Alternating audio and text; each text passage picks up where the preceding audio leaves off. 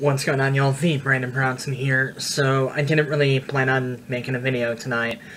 Um, as you guys can tell, I'm back from Reno. Uh, tonight was supposed to be nothing but editing.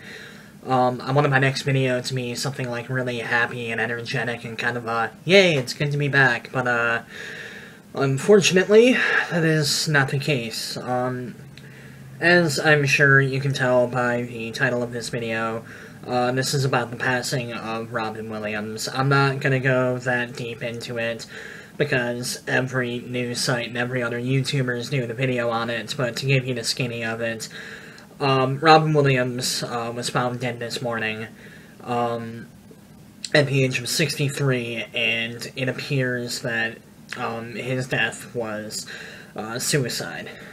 Um, and instead of talking about the news story itself, I wanted to kind of talk about how this affects me and all of that shit. Um, I'm not going to make it sound like I grew up on Robin Williams movies. I mean, um, I, I've seen a good number of them. You know, I grew up watching Aladdin. I grew up uh, loving Jumanji. I remember in kindergarten that was one of my favorite movies. Um, Mrs. Doubtfire was one I got into a little later, but uh, for the most part, Robin Williams, uh, his movies have been on my to-watch list.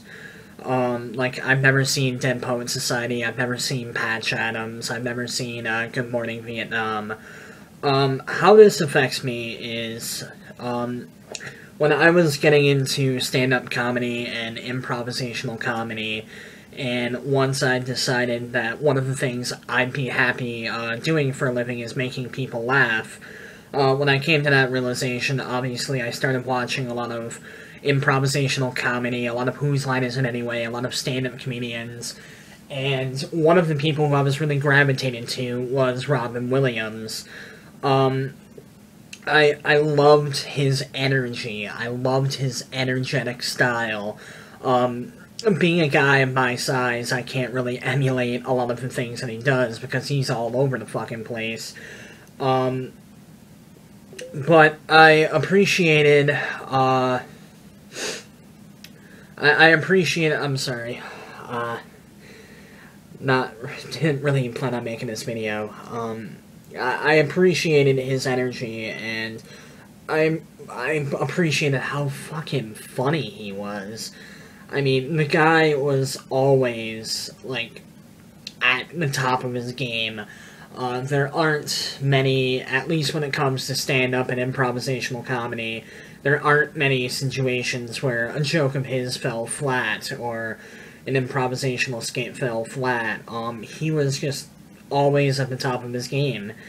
Uh, which makes the manner of his death, um, that much shittier.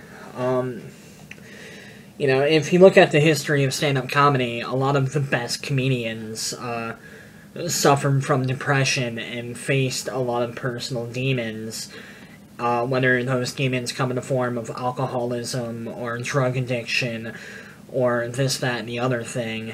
And a lot of great comedians end up dead in the most tragic of ways, and um, the irony is not lost on me. Um, in a sick way that's kind of funny.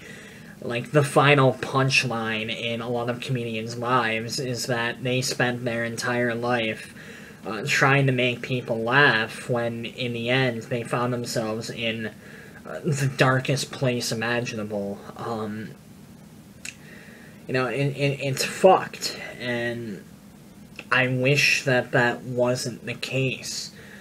It hurts a lot, especially um, considering how much I idolize uh, some of these people and how badly I want to uh, do what they do. It sucks knowing that once the cameras are off or once the microphone's put down and they're backstage, they're a fucking train wreck they spend their entire careers making us feel better about their lives, yet when they need it, they have nothing, or they have alcohol, or they have drugs, and, um...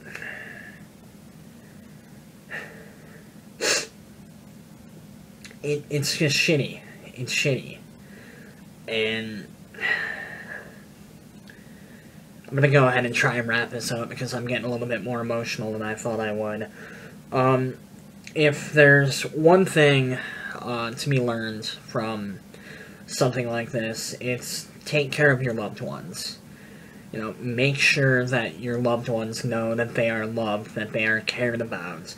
Because, on one hand, you never really know what's going through someone's mind 24 7. Um, in a lot of cases, when people are dealing with severe depression, they learn how to hide that really well. They learn how to mask that. They learn how to appear normal. Um, and this is something I speak from experience with. Uh, and on the other hand, even if uh, mentally they are okay and they're not on drugs and they're not drinking and they're not depressed with the possibility of suicide, um, you never really know when somebody's gonna go. At any time, any of us are a second away from death. Uh, for all I know, someone's about to fire through that window and a bullet's about to go through my head, or this entire building's going to collapse and I'll be gone in a second. And some freak accident like that could happen to any of us at any time. Um, so hug your loved ones a little tighter. Let people know how you feel about them. Um, because you never fucking know what's gonna happen. You never know when somebody's gonna go. Um, so I guess that's all I had to say about that. Robin Williams, rest in peace, man. Remember to like, comment, subscribe. Feed Brandon Brownson. Signing out.